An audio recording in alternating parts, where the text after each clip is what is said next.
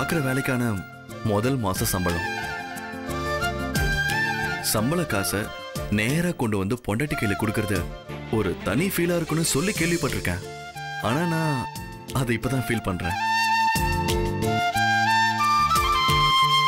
அப்போ கொடுக்கும்போது எனக்கு ஃபீல் ஆகுற மாதிரி வாங்கும்போது உனக்கு ஃபீல் ஆச்சா?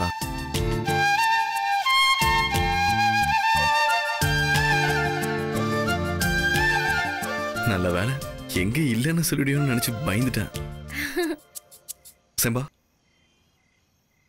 என் சம்பளம் முன்ன மாதிரி கிடையாது. என் வேலையும் சரி அதுக்கான சம்பளமும் சரி. பெருசா இருக்காது. அதனால என்ன சென்னையா நீங்க? இதான் நீங்க அப்பவே சொல்லிட்டீங்களே. முன்ன மாதிரி பெரிய கம்பெனில வேலை பார்க்காம சின்ன கம்பெனில தானே வேலை பார்க்கறீங்க? அங்க இவ்ளோ சம்பளம்ன்றது நியாயமானதுதான். இந்த சம்பளம் என்ன இப்படியேவா இருக்க போகுது? இன்னும் கொஞ்ச நாள்ல உங்க திறமைய பார்த்து ப்ரமோஷன் இன்கிரிமெண்ட்னு உங்க சம்பளம் ஏறதானே போகுது?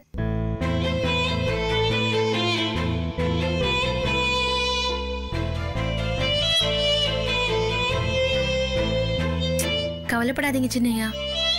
உழைச்சி சம்பாதிச்ச காசு எல்லாமே ஒசந்ததுதான். இது நாம சிறுக சிறுக சேர்த்து வச்சு இப்படியாச்சும் நம்ம கடன் அடைக்க ஒரு வழி பண்ணணும். கையை விட்டு போன நம்ம வீடு. மணமேடை வரைக்கும் வந்து நின்னு போன வினோட கல்யாணம். இது எல்லாமே நாம சரி பண்ணணும். பண்ணிடலாம் செம்பா. நாம உடைஞ்சு போறப்பெல்லாம் ஆண்டவன் ஏதோ நம்பிக்கையை கொடுத்து நம்மள தூக்கி விட பாக்குறான் அந்த நம்பிக்கையை இழந்துடாம நாம வாழ்க்கையில முன்னேறணும் சின்னையா. அதுக்கு உங்களோட இந்த சம்பள பணமும் ஒரு உதவியா இருக்கும் சின்னையா. என்ன பண்ற? இதுல எங்க சின்னையாவோட வேர்வை வாசம் வருது. அது சட்டையோட இன்சைட் பாக்கெட்ல வச்சிருந்தனா வேர்வை ஒட்டி இருக்கும் போல கூட காய வச்சு தரேன். கிண்டல் பண்ணாதீங்க சின்னையா. ஆமா இந்த சம்பளத்தை எதுக்கு ஒளிச்சு மறைச்சு யாருக்கும் தெரியாம கொடுக்குறீங்க? எல்லாரும் முன்னாடி வச்சு கொடுத்துருக்கலாமே. இது ஒண்ணுனா மட்டும் பரவாயில்ல செம்பா. இன்னும் ரெண்டு இருக்கே. இன்னும் ரெண்டா? ம். சின்னையா அடுத்த ரெண்டு மாச சம்பளத்தையும் சேர்த்தே கொடுத்துட்டாங்களா என்ன? அப்படியே ஒண்ணு போட்டோன்னா ஆசைய பாரு. இது வேற. வேறயா? என்ன சின்னையா? ஒரு நிமிஷம்.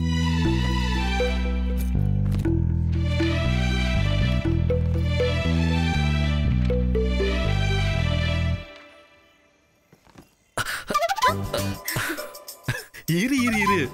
பூ மாதிரி இருந்துகிட்டு எப்பவும் ஸ்வீட்டா பேசுற என் பொண்டாட்டிக்காக அல்வாவும் மல்லிகைப்பூவும்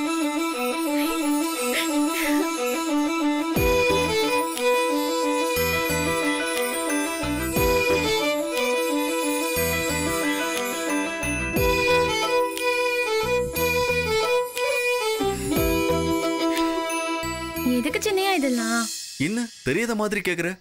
அல்வா சாப்பிட மல்லிகைப்பூ தலையில வச்சுக்க. ஆமா. இது யாருக்கும் தெரியாத விஷயம் பாருங்க. தெரியுதுல்ல? திரும்ப. சின்னையா யாராச்சும் பாத்துட்டு போறாங்க. நீங்க கொடுங்க. நானே வச்சுக்கிறேன். ஆஹா. அதெல்லாம் யாரும் பார்க்க மாட்டாங்க. திரும்ப. சின்னையா. திரும்ப.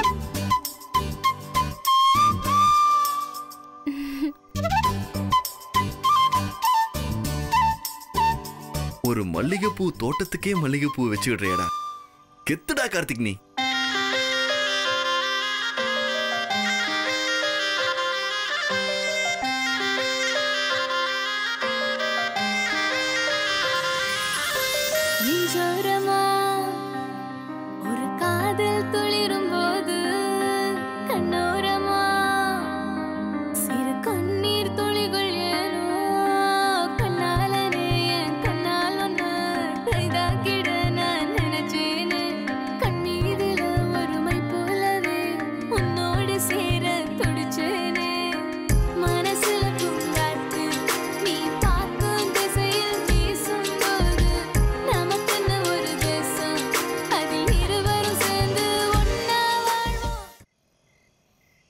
நாளைக்கு அப்புறம் நீ பூ வச்சு பார்க்கறேன் சம்பா.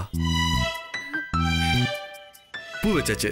நெக்ஸ்ட் ஸ்வீட் ஒரு நிமிஷம் ஒரு நிமிஷம். எல்லாத்தையும் நீங்களே தான் பண்ணுவீங்களா? ஏன்? எங்களுக்கெல்லாம் ரொமான்ஸ் பண்ண தெரியாதா என்ன? அடடா. என்ன பண்ண போறீங்க? பூவை நீங்க வச்சு விட்டீங்க. அல்வாவை நான் ஊட்டி விடுறேன். என்ன சின்னையா? சரின்னு சொன்னேன்.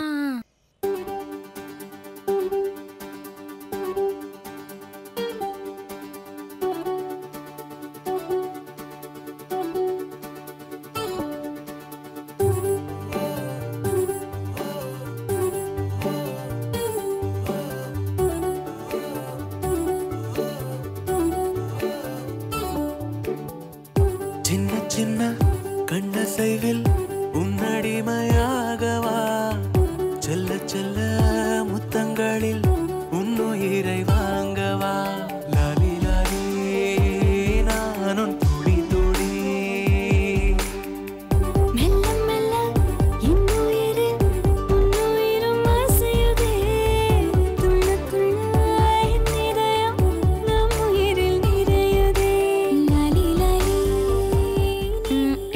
சம்பள காசை பெரிய பெரியம்மா கிட்ட போய் கொடுத்தா எவ்வளவு சந்தோஷப்படுவாங்க? வாங்க உடனே போய் கொடுக்கலாம்?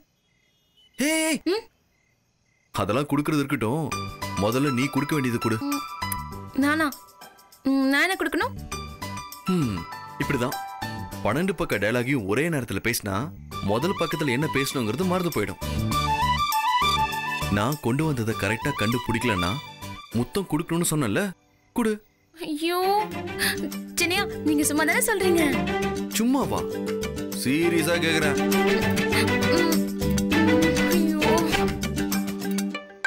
இங்க எப்படி சின்னையா கொடுக்கறது?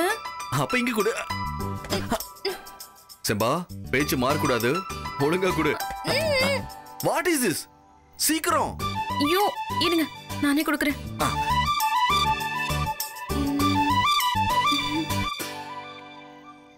ஆ.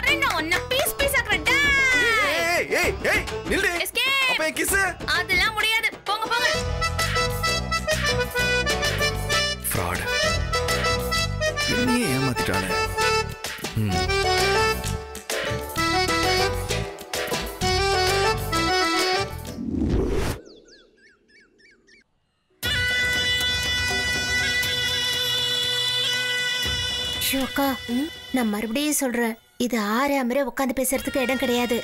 அக்கா கார்த்திக் மட்டும் நம்மள இங்க வச்சு பார்த்துட்டானா? அவ்வளவுதான்.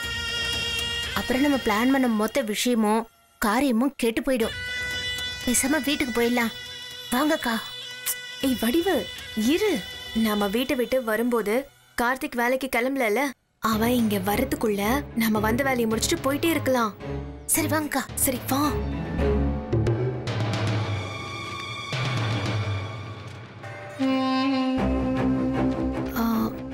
எக்ஸ்கியூஸ் மீ மேம் ஹாய் சொல்லுங்க. உட்காருங்க. ஹாய் உட்காருங்க.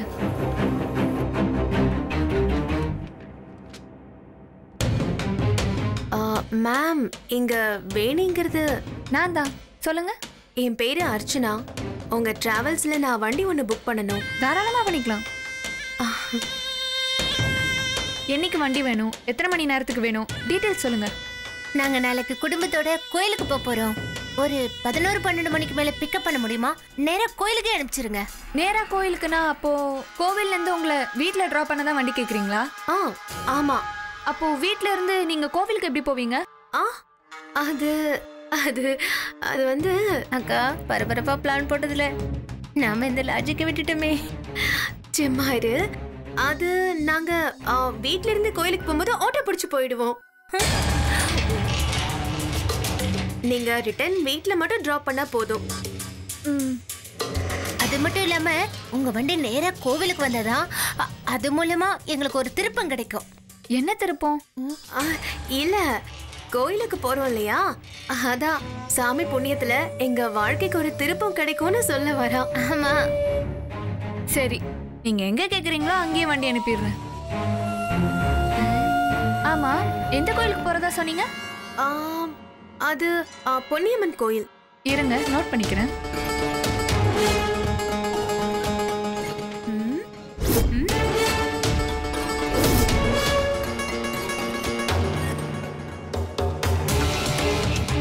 நீங்க கோவில் விட்டு வெளியே வந்த உடனே உங்களை பிக்கப் பண்ண எங்க வண்டி வந்து நிக்கும். எல்லாம் ஓகே தானே? ஓகே ஓகே அட்வான்ஸ் ஏதாவது? அதெல்லாம் ஒண்ணும் தேவையில்ல. வர எங்க டிரைவர் கிட்ட ட்ரிப்பு முடிஞ்சதும் நீங்க பணத்தை கொடுத்தா போதும். ஓகே ஓகே ஆம். எனக்கு டிரைவர்னு சொன்ன உடனே தான் ஞாபகத்துக்கு வருது. ஆ, ஏதாவது வயசான கிழவரா பார்த்து எங்களுக்கு டிரைவரா அனுப்பி விட்டுறாதீங்க. உங்ககிட்ட இருக்கிறதுலயே ஒரு நல்ல டிரைவரா பார்த்து எங்களுக்கு அனுப்பி வைங்க. சரி. முக்கியமா எதுக்கு எடுத்தாலும் வள்ளு வள்ளுன்னு எரிஞ்சு விழுற டிரைவரா இல்லாம எல்லாருக்கிட்டையும் சகஜமா பேசுற டிரைவரா இருந்தா நல்லா இருக்கும். நீங்க அனுப்புற காரு முன்ன பின்ன இருந்தா கூட பரவாயில்ல. ஆனா கார் டிரைவர் பக்கவான ஒரு ஆளா இருக்கணும்? பக்காவான ஆளாவே அனுப்புறேன். போதுமா? ஆ சரி. போதும் போதும். நாங்க நினைச்சதெல்லாம் நடக்க போகுதுங்கும் போது இதை விட எங்களுக்கு வேற என்ன வேணும்? ஆமா நீங்க வண்டி புக் பண்றத போன்லயே சொல்லிருக்கலாமே. அதை விட்டுட்டு ஏன் இப்படி நேர்ல வந்திருக்கீங்க? இததான் இததான் நானும் சொன்னேன். எங்க கேக்குறாங்க. அப்படி இல்லைங்க. ஒரு சில விஷயத்த நேர்ல பார்த்து பேசினாதான் மறக்காம மனசுல பதியும். அக்கா கார்த்தி வந்துட போறாக்கா? வாங்க சீக்கிரம் கிளம்பலாம். ஆ சரி வர வெயிட் பண்ணு. ஆ சரி மேடம். அப்ப நாங்க கிளம்புறோம். டுவெல் ஓ கிளாக் பொன்னியம்மன் கோயில். நாளைக்கு மறக்காம அனுப்பி வச்சிருங்க. சரிங்க. போலாமா? நாங்க வரேங்க மேடம். நாங்க வரோம் மேடம். வா. பாய் பாய். மறந்துடாதீங்க. அப்பா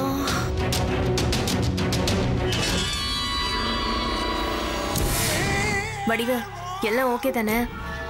ஓகே தான். ஆனா நாளைக்கு இந்த வேணியும் கார்த்தியும் பொன்னியம்மன் கோயிலுக்கு அனுப்புவா. நாமளும் போய் அவனை அதே கோயிலுக்கு கூப்பிடுவோம். ஏங்கா ஒருவேளை கார்த்திக்கு இதுல ஏதாவது டவுட் வந்து கோயிலுக்கு வராம இருந்துட்டானா? ஏய் நீயே இவ்வளவு தூரம் யோசிக்கும் போது நான் யோசிக்க மாட்டேனா? ரெண்டு இடத்துலயும் ஒரே கோயில் பேரை சொன்னா தானே கார்த்திக்கு டவுட் வரும்? நாம மாத்தி சொல்லுவோம். எப்படிக்கா? எப்படிங்கறத நீ வீட்டுக்கு வந்து பாரு. ஏய் சொல்லி கொடுத்த டயலாக்ல ஞாபகம் இருக்குல்ல? ஆ பக்கா வா. நம்ம நாடகத்தை ஸ்டார்ட் பண்ணலாம். வாங்கக்கா. வா வா.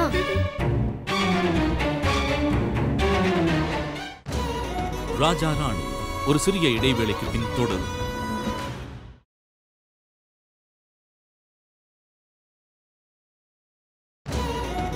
ராஜா ராணி தொடர்கிறது.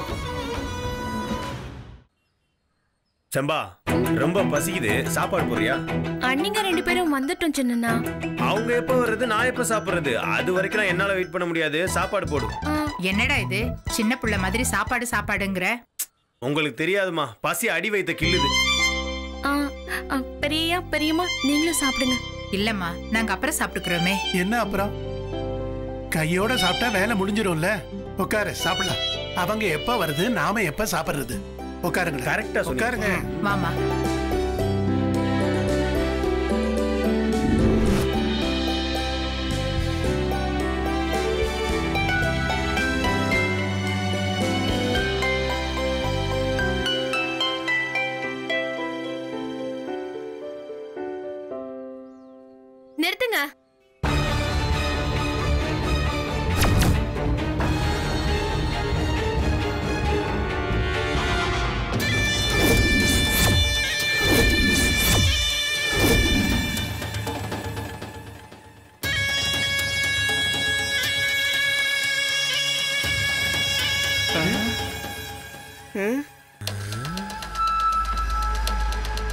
யாரும் சாப்பிட்றாதீங்க. அக்கா எப்போ நானா இப்படி பண்ணுவேன்? இப்ப நீங்களும் ஆரம்பிச்சிட்டீங்க? அப்படி இல்ல வடிவ. முக்கியமான விஷயம்ல அதான். என்னாச்சு உங்களுக்கு? என்ன வேஷம் இது? அமைதியா இரு. கோயிலுக்கு போயிட்டு வந்திருக்கோம்ல?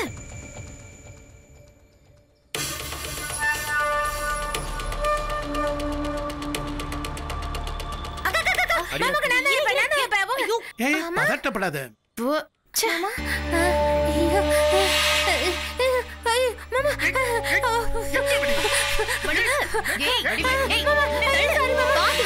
என்ன இதெல்லாம்? ஐயோ மாமா. கண்ணு காட்டுங்க. ஒண்ணு இல்ல ஒண்ணு இல்ல. என்ன வடிவு? மாமாக்கு போய் சைலண்ட் ஆயிரு. சரி மாமா. என்னங்க? உன் புருஷனுக்கு வை. இல்ல இல்ல பரவாயில்ல இருக்கட்டும். வாசம்பா தேங்க்ஸ் அண்ணி. ஆமா. வினோதினி எங்க? வினோதினி? வினோதினி? வினோ. வினோ. வினோதினி. வினோதினி இங்க வந்து இந்த வினோதத்தை பாரு நீ. ஆமா வச்சுக்க. சாமி பிரசாதம். அண்ணிங்க கோயில் போயிட்டு வந்திருக்காங்க. அக்கா முக்கியமான ஆளை மறந்துட்டீங்களாக்கா? ஆமா.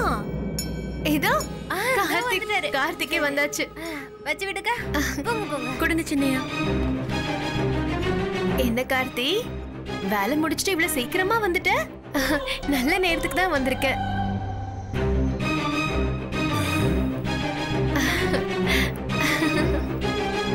என்னம்மா இது? என்னைக்கு இல்லாத திருநாள் புதுசா இருக்கு? ஏன் மாமா நான் இதெல்லாம் பண்ண மாட்டேன்னு நினைச்சிட்டீங்களா? இல்ல நீங்க இப்பெல்லாம் பண்ணா ஏதோ உள்குத்து இருக்குதுன்னு அப்பா. ஐயோ அப்படிலாம் நினைக்காதீங்க. வயலடிங்க வயலடிங்க வயலடிங்க வயலடிங்க. அக்கா வர வழி எல்லாமே நம்ம குடும்பத்தை பத்தி தான் புலம்பிக்கிட்டே வந்தாங்க.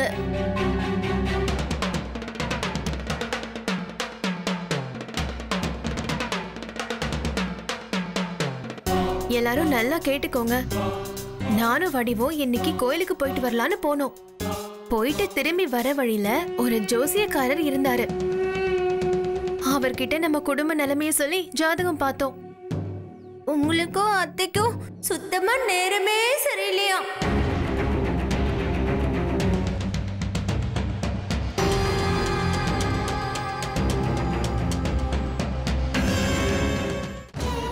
ராஜா ராணி ஒரு சிறிய இடைவேளைக்கு பின் தொடரும்.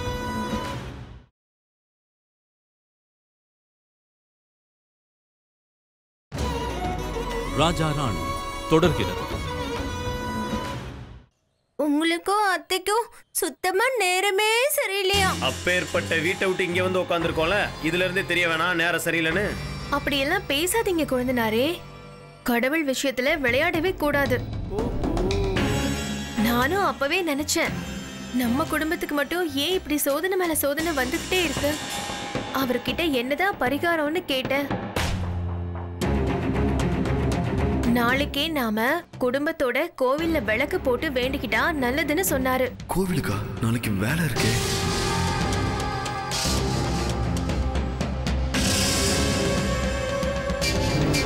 அண்ணே என்னண்ணே இது? லட்டு மாதிரி ஒரு விஷயம் மாட்டிருக்கு. இத வச்சு லட்சாதன பூஜை அது இதுன்னு சொல்லி ஆயிரம் ரெண்டாயிரம் ஆட்டையை போறத விட்டுவிட்டு விளக்கு போறேன்னு சொல்லி செலவே இல்லாத விஷயத்த சொல்லிட்டு இருக்காங்க. ஏய் என் பொண்டாட்டி பத்தி உனக்கு தெரியாது. முதல்ல இப்படிதான் ஆரம்பிப்பா. அதுக்கப்புறம் சூரியனுக்கு விளக்கு போடணும்பா. அங்க என்ன குசு குசுன்னு பேசிக்கிட்டு இருக்கீங்க? இல்லம்மா நாளைக்கு கோயிலுக்கு போனோம். சுத்த பத்தமா இருக்கணும்னு சொன்னேன். ஆமாமா இத்தனை நாள் நம்ம வீட்டு பிடிச்ச கஷ்டம் எல்லாமே போயிடும்.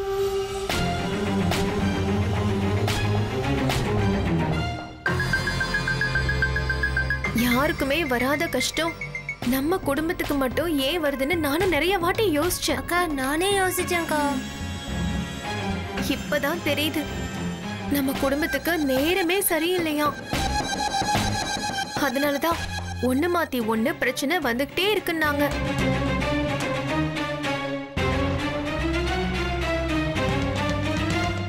முதல்ல எப்படியாவது இந்த குடும்பத்தை கஷ்டத்துல இருந்து மீட்டெடுத்தாகணும்.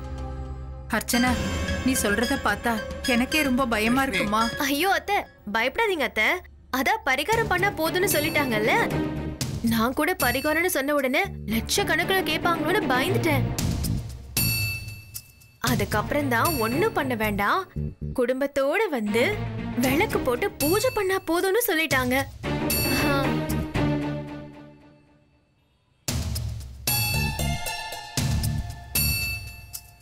அத்தை மாமா நாளைக்கு ஒரு நாள் நம்ம குடும்பத்துக்காக விளக்கு போட்டு பூஜை பண்ணி ஆகணும். தயவு செஞ்சு நாளைக்கு யாரும் எந்த சாக்கு போக்கும் சொல்லிடாதீங்க.